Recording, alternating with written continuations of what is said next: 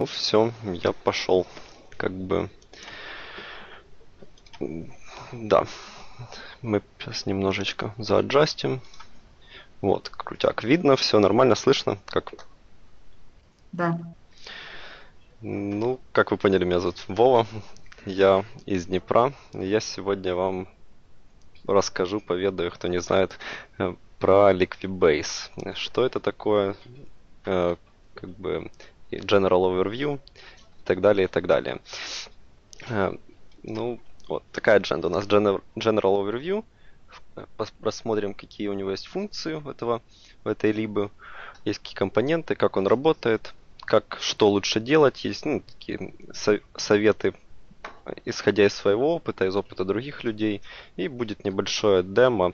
В общем, в целом это как, как э, презентация для знакомства, то есть кто с ним работает достаточно, ну, э, тот мало что нового узнает, поэтому это больше для людей, которые или мало работают, или как бы не знакомы в принципе с этим, с этой вещью. Так, что такое, в принципе, Liquibase? Liquibase это такая библиотека, которая помогает нам менеджить изменения в базу данных, как наполнение, так и в схему.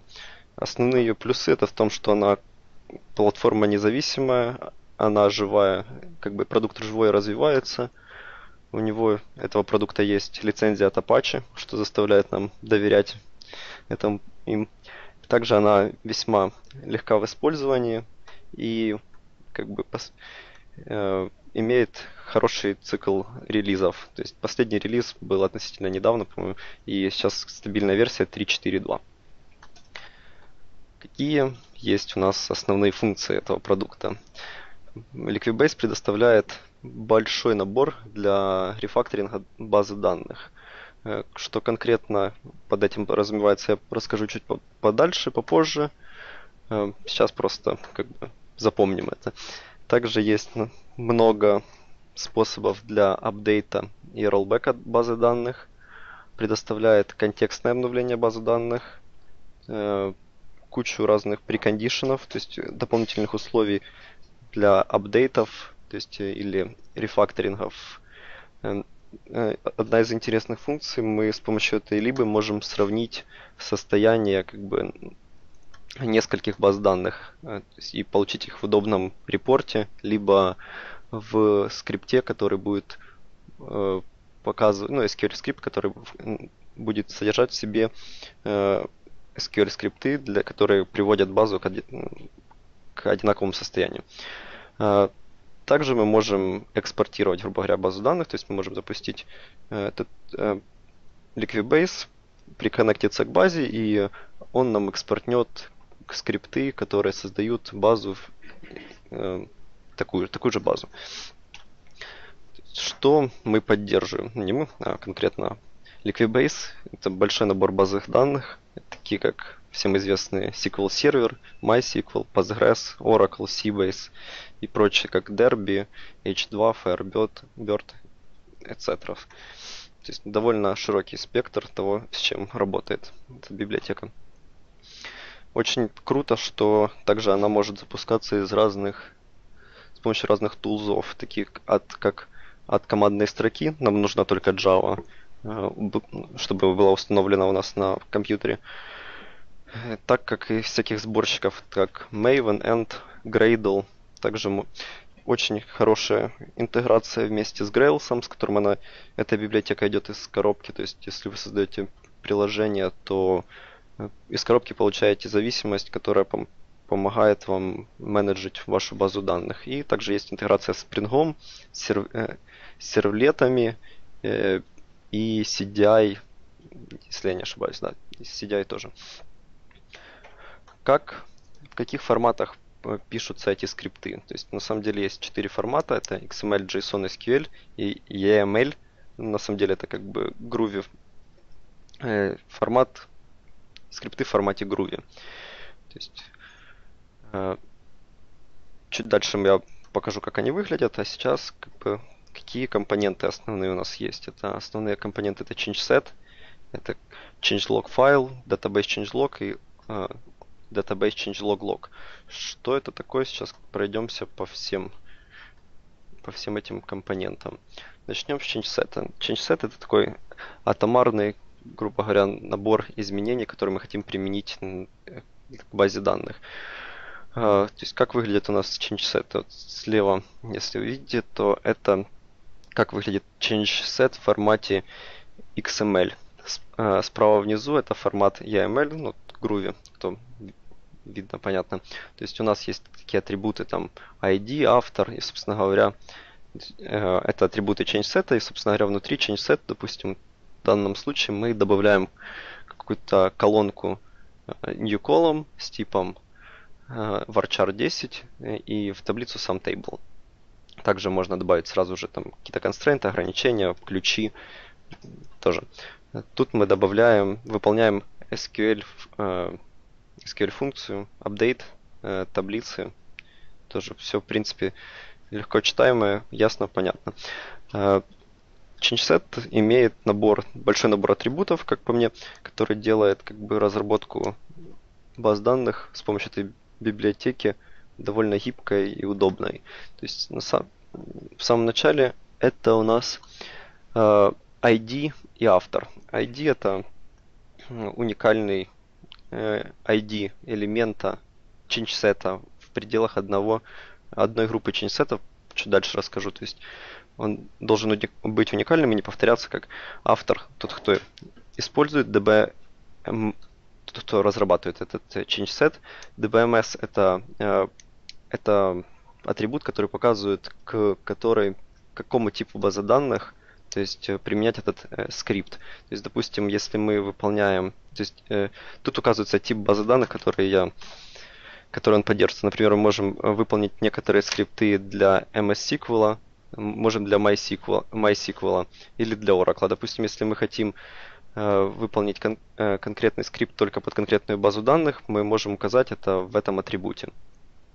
Также есть такие атрибуты, которые показывают, как часто, э, с какой регулярностью, допустим, запускать выполнение этого change По дефолту он выполняется один раз, и потом при, второй, при втором, третьем и так далее прогоне этих скриптов только проверяется его состояние, если никаких дополнительных атрибутов не выполнено. Если у change выставлен атрибут runAlways, то, как очевидно, то он выполняется каждый раз при каждом прогонке э, апдейтов. Э, run on change означает, что ну, если мы изменя, изменили change то он должен вы, выставиться. Э, также очевидно, есть такая штука run in transaction, что добавляет транзакционность к выполнению нашего change set. Остальные вещи более интересные. То есть есть такая штука, как контекст атрибут. Допустим, у нас есть несколько environment, которые имеют одинаковые базы данных, но мы хотим, чтобы на них выполнялись разные э, типы скриптов или разные группы скриптов. Тогда мы можем их пометить как контекстом и при запуске апдейтов указывать э, скрипты с каким контекстом будут выполняться. Допустим, у нас есть контекст там, э, с содержимым там, first, я дальше, дальше будет примеров покажу. И мы, если мы запускаем э, выполнение с этим контекстом, то будут выполняться все скрипты, которые без контекста, и все скрипты, которые с контекстом first. Все скрипты, которые с контекстом не first, не будут выполняться при данном запуске. Э, fail on error означает, э, что если при, ну, то есть если мы ставим по дефолту он true, Э, если мы ставим его false, то если при выполнении нашего скрипта будет упадет ошибка, то если это будет false, то мы будем просто пасать этот, проходить дальше, ничего, ничего не будет делать, то есть будет дальше проходить выполнение апдейтов. Если он будет если он будет fail on error true, то тогда, если при выполнении будет падать ошибка, то будет останавливаться дальше выполнение апдейта базы данных. Коммент можно добавлять какие-то кастомные комментарии к каждому change При condition, если мы хотим э, добавить какие-то дополнительные условия, э, допустим, проверить состояние базы данных, перед выполнением этого change выполнить какой-то дополнительный там select э, или, то есть мы не уверены в состоянии базы данных, мы можем дописать какие-то кастомные скрипты, на проверку перед выполнением. И в зависимости от этой проверки выполнять change set или скипать его. А, вот так, собственно говоря, вы, ну, вы, выглядит change set. То есть у нас есть какие-то заголовки стандартные, то есть которые говорят, что это как бы э, XML файл для Liquibase. И вот тут в примере приведен, э, как, допустим, я обновляю хранимую процедуру в базе данных. То есть у меня есть э, первый э, который выполняется один раз, и который проверяет, что если у меня в базе в хранимых процедурах есть храни... нету хранимой процедуры с названием procedure, то я ее создаю. Если нет, то он как бы скипается. Ну, в смысле, блок begin-end не выполняется. И когда мы переходим ко второму change set, то, который выполняется, э, когда изменяется содержимое SQL файла, то выполняется э, содержимое SQL файла, который э, хранит в себе альтер хранимой процедуры по указанному пути. Также увидите, что добавлен контекст, который позволяет нам гибко обновлять разные базы данных. Да такое changelog файл? Changelog файл это, собственно говоря, набор тех change-сетов или э, которые будут э, выполняться. То есть это некий файл, который содержит либо change-сеты, либо подключение других changelog файлов. Если провести такую легкую аналогию, то как бы это как папка. Ну, то есть если у нас э, change-set это обычный файл, то changelog это контейнер, такой это как, как папка относительно файла. То есть тут можно писать сразу change и можно подключать другие changelog файлы, как приведено в моем примере, собственно говоря. Есть атрибуты у него, то есть можно делать прекондишены, такие, это те же самые прекондишены, как и у change только они выполняются для группы change а не для конкретного change Можно делать инклюды, подключать внешние какие-то другие changelog и, собственно говоря, change писать в changelog файле. Вот, собственно говоря, так вот выглядит прекондишн, дополнительные условия. Если мы хотим проверить базу данных перед выполнением, то мы делаем прекондишены. В данном примере э, я вот хочу удалить триггер из базы данных, но я не уверен, что он там есть. И вот я выполняю select count from triggers, from sysobjects, и проверяю по названию. То есть если у меня мой select возвращает единичку, то окей, мы удаляем этот, мы выполняем SQL блок. Если нет, то мы просто скипаем, ну, отмечаем его как, э, что он выполнился и идем дальше. Что такое э, database changes или refactorings, как называют их Liquibase? Это набор предефайнутых конструкций, которые позволяют нам изменять базу данных. Что в них, что мы предоставляем? Liquibase предоставляет. Э, это создание э, таблиц, индексов, процедур, секвенсов, ключей разных, э, констрейнтов. Можно добавлять, удалять колонки, инсертить даты, подключать SQL файлы и переименовывать разные элементы базы данных. Почему это удобно? То есть не обязательно знать как бы тот же SQL или какую-то имплементацию SQL под разные базы данных Э, можно просто писать это в виде таких конструкций, вот как э, и все будет работать вне зависимости, ну, в зависимости от того, какую базу вы используете, вы подключаете драйвер, который вам надо, и все будет окей, конвертиться и апдейтиться. Вот, допустим, так вот выглядит э, изменение insert в базу данных, в базу данных, которая у нас подключена, в таблицу person. Этот insert будет накатываться на H2 и на Oracle базы данных. И, собственно говоря, что мы добавляем? Мы добавляем запись в э, колонку адрес. То есть очень, в принципе, легко, понятно.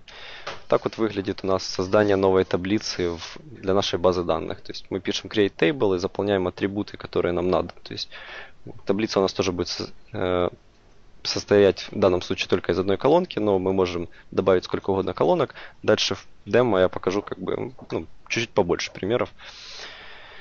Роллбеки. То есть одной из самых интересных тоже функций есть роллбеки. А, то есть под каждый скрипт э, есть два типа роллбеков. Это автоматические и мануальные. То есть есть э, database рефакторинги, которые автоматически из коробки поддерживают роллбеки.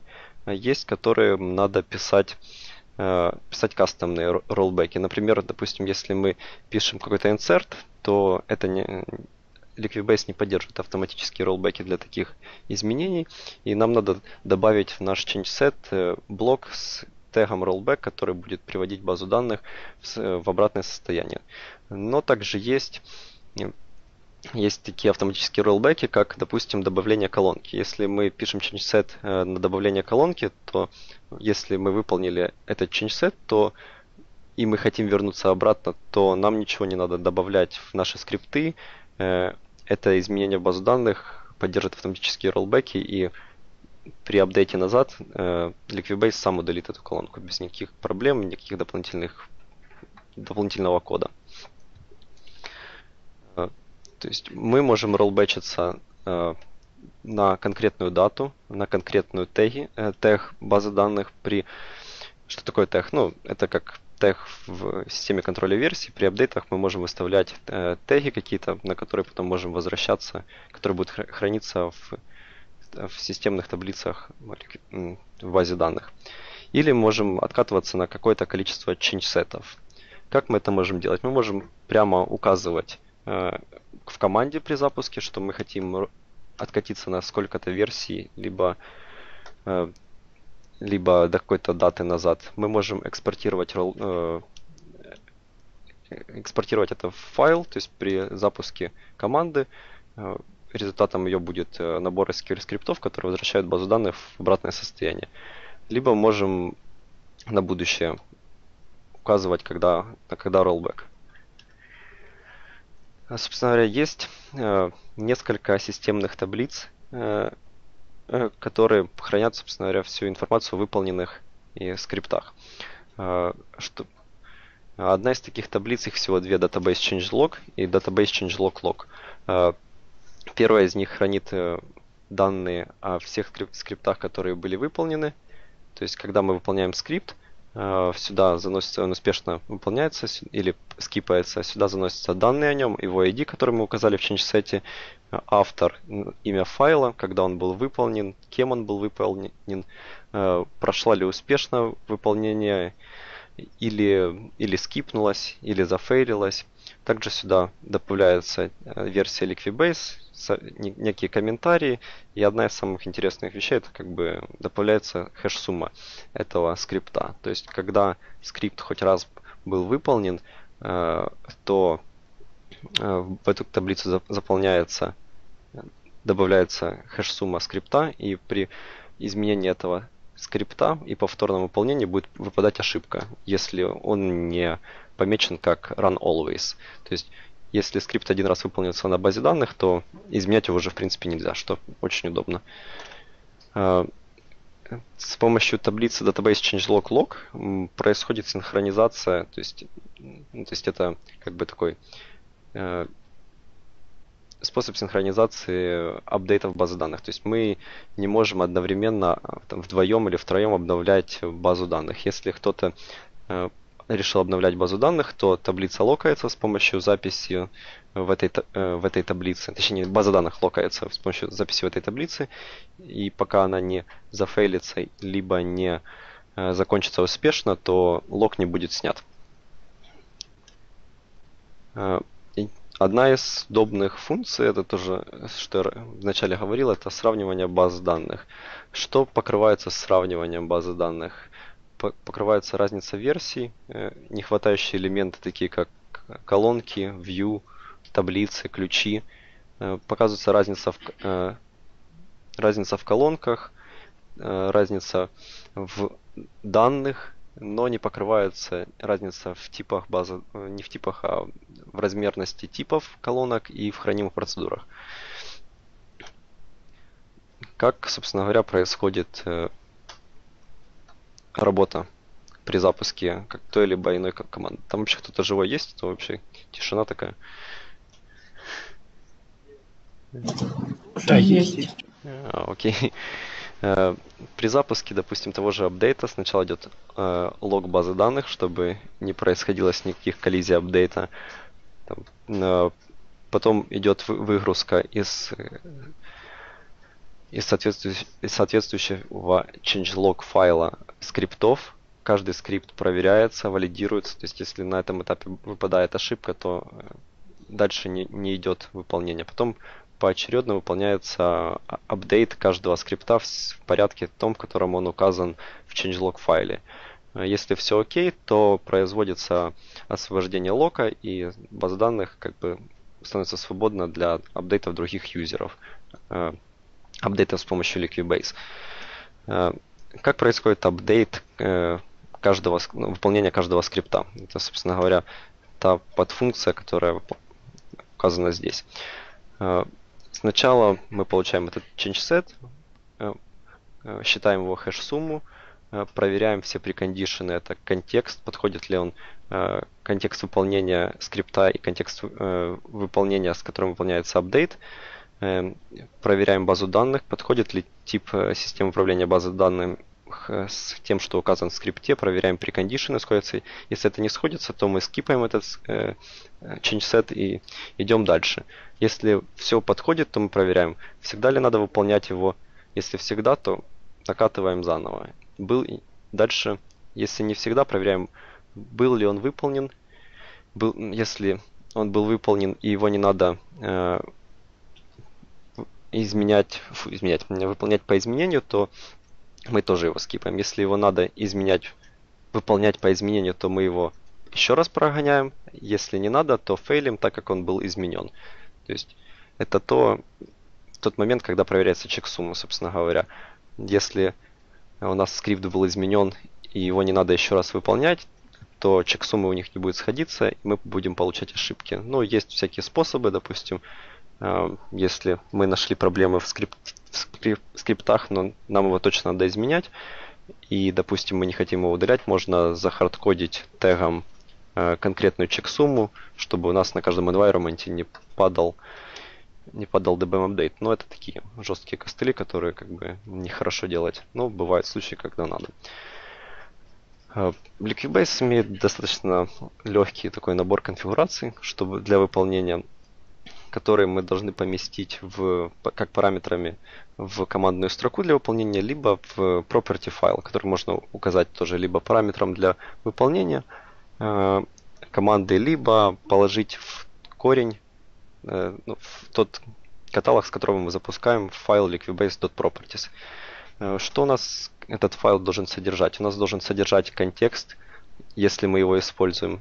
Это как бы это не required поле, но есть набор required полей, которые указаны ниже. Это путь к changelog файлу, драйвер, класс драйвера, URL к базе данных, к которой мы хотим законнектиться, также логин и пароль к базе данных, ну и дополнительная информация, как вербос и, и так далее. То есть так вот выглядит, собственно говоря, если мы положили liquibase.properties в каталог, с которого мы запускаем, то нам хватит такой команды java-jar liquibase update, чтобы выполнить апдейт нашей базы данных. То есть все просто, все удобно. Какие у нас есть good practices, которые были как бы застейчены нашим нашими DB-архитекторами, и как бы я потом почитал еще, то есть много проектов используют очень такие, такие же best practices. Для начала это как бы атомные чинжи в одном чинж-сете, то есть э, не стоит набивать changeset ы разными не связанными данными, апдейтами, там, инсертами. То есть, допустим, если мы инсертим, нам надо заинсертить там в три таблицы э, данные, то лучше поделить это как минимум на три changeset а. Э, хорошо использовать э, комменты и description ы для своих changeset ов, чтобы, допустим, другие люди понимали, что из... не что, скорее всего, зачем ты это делаешь, потому что ну, надо писать такой код, который и так понятно, что он делает. Э, хорошо делить changelog на маленькие change, э, как локальные changelog, которые будут содержать change-set. Допустим, если мы, э, как мы делаем, мы делим э, changelog, который на include. Ну, то есть мы подключаем в changelog другие changelog, changelog фай файлы, которые обновляют конкретную таблицу. То есть, допустим, если мы хотим сделать э, запись insert в одну таблицу, то у нас это сначала идет э, include на э, changelog для этой таблицы, для этих изменений, только для этих изменений. Потом для include для другой таблицы, для третьей таблицы. Если мы еще раз хотим заинклюдать, накатить изменения для первой таблицы, мы создаем еще один файл. То есть мы не дописываем в первый, мы создаем еще там четвертый. Это не, покажу в демо чуть дальше. Также очень правильно иметь четкую конвенцию для наименования этих, э, этих changelog файлов. В дальнейшем как бы это упростит работу и поддержку, если проект вырастет как бы до больших масштабов. Э, также очень хорошо писать роллбеки для каждого своего ченчсета, для тех ченчсетов, которые не поддерживают автоматические роллбеки, чтобы можно было э, в случае, в плохом случае откатиться на предыдущую, допустим, версию базы данных.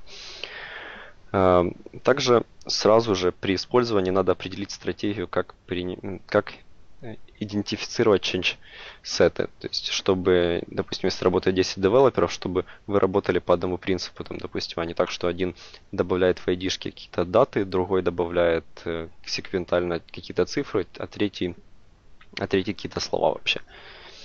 Э, один, Одной из good practice также является обновление stored процедур через, через подключение ее к через SQL файл, который будет трекаться по изменениям. То есть, чтобы каждый раз не писать большие change сеты, э, которые будут э, хранить в себе всю процедуру, мы просто подключаем подключаем файл, который будет проверяться на изменения. Если он будет изменяться, он будет выполняться. Собственно говоря, как было показано в примере.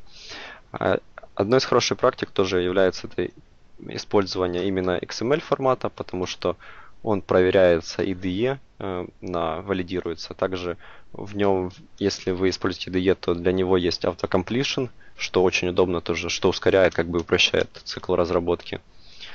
И также одной последней такой практика является это, если вы добавляете свои чинжи э, новые, то добавлять их конец changelog файла, чтобы потом не было проблем при, допустим, пересоздании баз данных. И если вы мержите эти changelog файлы, то тоже э, все новые изменения должны попадать только вниз. Ну, вот как бы так, в принципе, в общем, General Overview закончено. Я хочу показать небольшое демо, собственно говоря, как это все выглядит в жизни на небольшой, на нескольких небольших базах данных и табличках.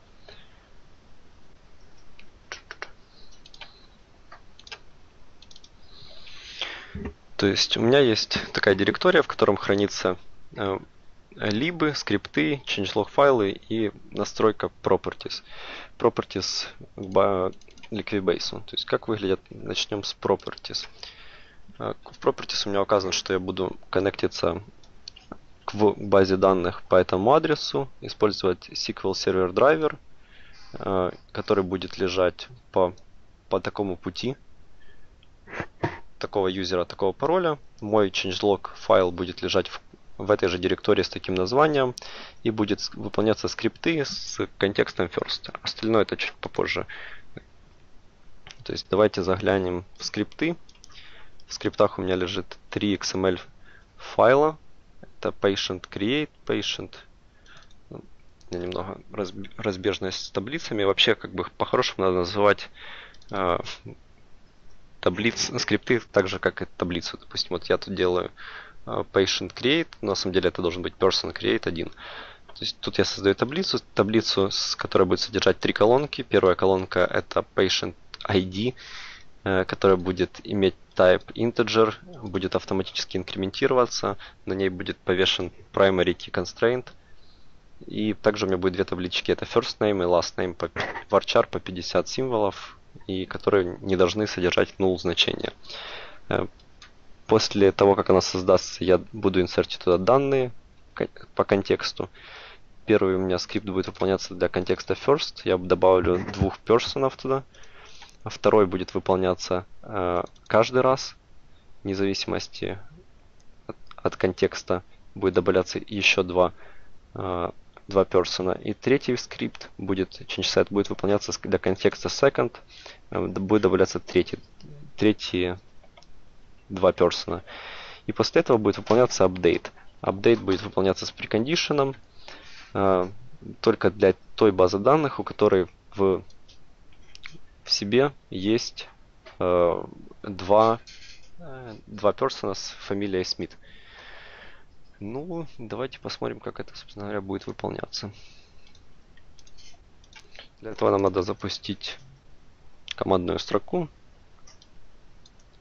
И вот давайте сначала покажу, что у меня есть. Ой-ой-ой.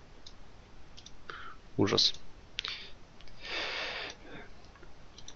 У меня есть две таблицы, тест first и тест second. Они пустые. Фу, две таблицы, две базы данных. Они пустые, то есть нету никаких таблиц. И сначала я буду выполнять update э, тест, тест first с контекстом first. То есть у меня должны выполниться все скрипты, которые имеют, не имеют контекста, и все скрипты, которые имеют контекст first. Чтобы запустить, я пишу java jar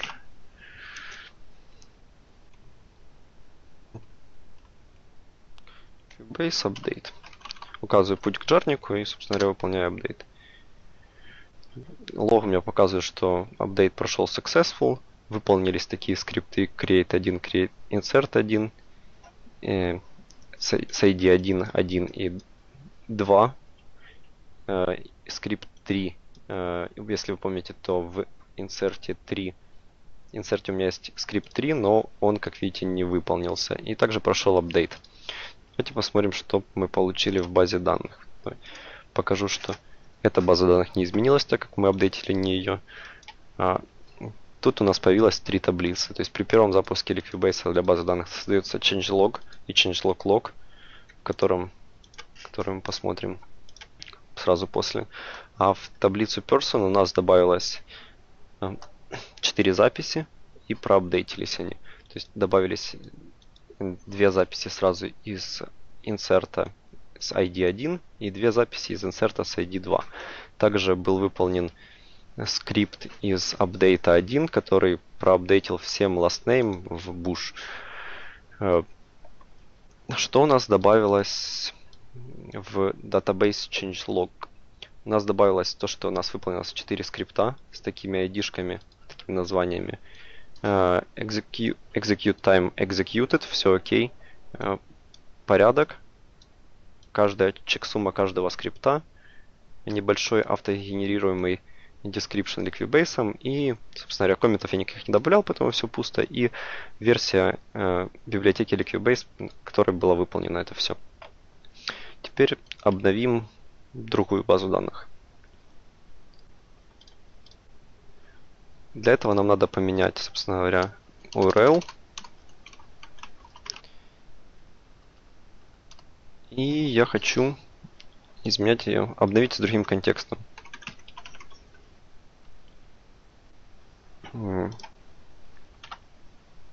Снова запускаем команду. Получаем, что все было окей.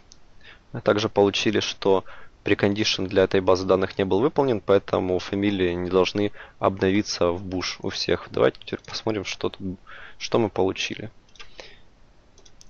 Рефрешнем.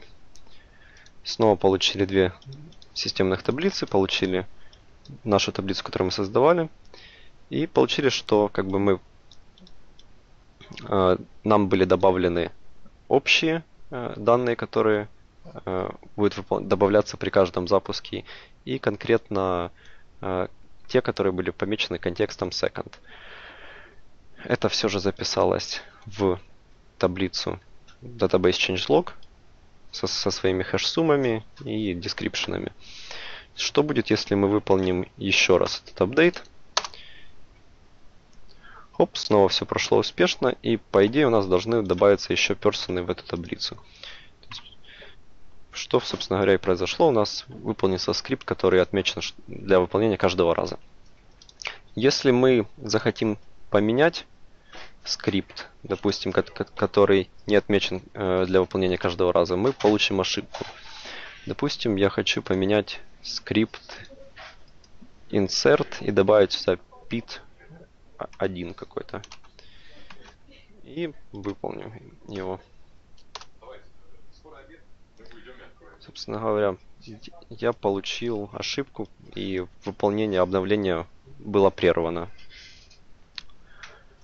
То есть вот так вот на таком лайтовеньком примере мы увидели, как это, ну, это в принципе все просто и все читаемо. Э, теперь можно сравнить наши базы данных. Допустим, давайте сначала э, добавим каких-то отличий. Допустим, добавим сюда какую-то еще одну колоночку. Фон, например. Фон у нас будет тоже varchar 10. Он будет разрешать добавление нулов. Теперь рефрешнем, посмотрим, что она добавилась. Действительно, она добавилась. И выполним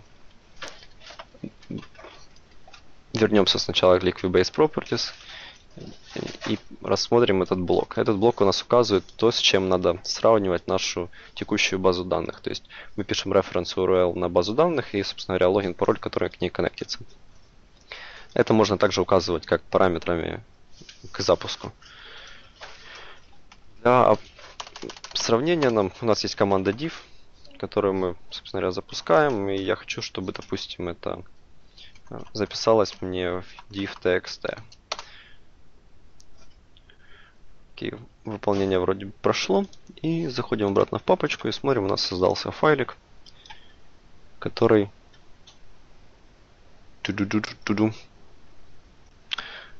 который говорит, что все окей и что-то, что все одинаковое. Сейчас мы проверим еще разочек.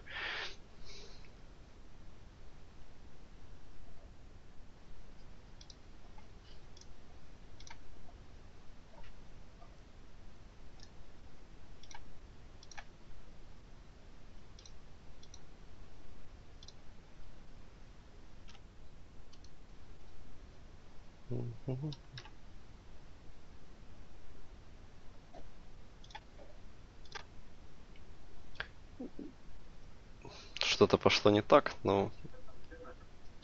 А, да, точно, я сравниваю, как бы мне тут подсказывает немножко. Я сравниваю саму с собой, поэтому как бы все окей. Это мои проблемы уже проблемы. То есть надо сравнить, собственно говоря, первую базу данных со второй.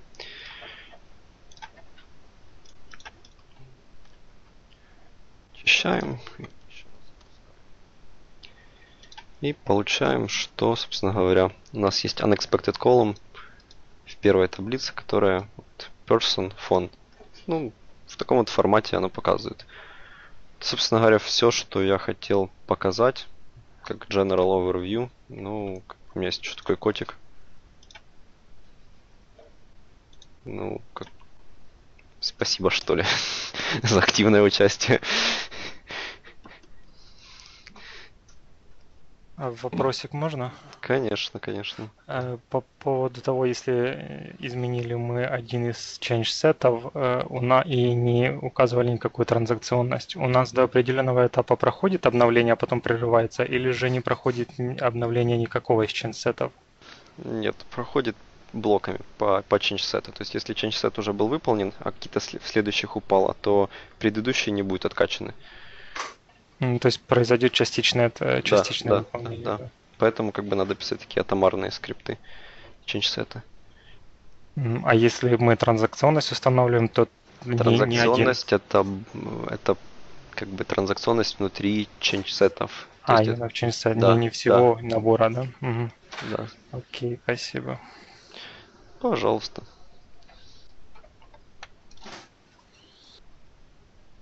Эгегей. Женя.